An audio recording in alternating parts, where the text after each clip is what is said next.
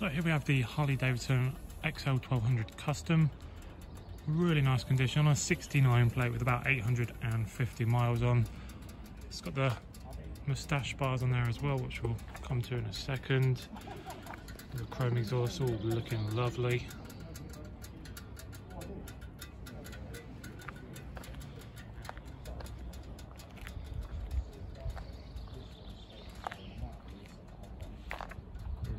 This one.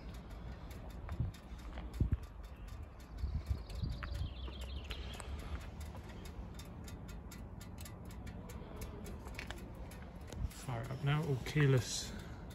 You know. Fire up just here.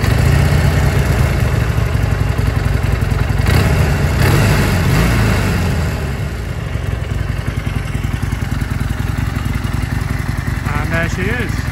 Any questions then please get in contact with Wheels Motorcycles. Thank you.